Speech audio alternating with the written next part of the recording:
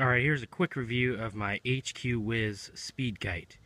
This was purchased from Ocean Shores Kites in Ocean Shores, Washington. The greatest kite store on the planet.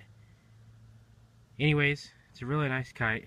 Well, well reinforced wingtip battens, printed on one side only, mylar, double spine. Here's some quick info on the kite.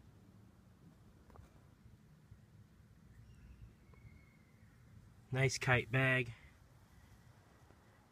and the kite lines I use. 150 pound by 160 feet it's the same kite line that I use for the team evidence laser 761 anyways hope you enjoyed the flight video and if you have any questions please feel free to ask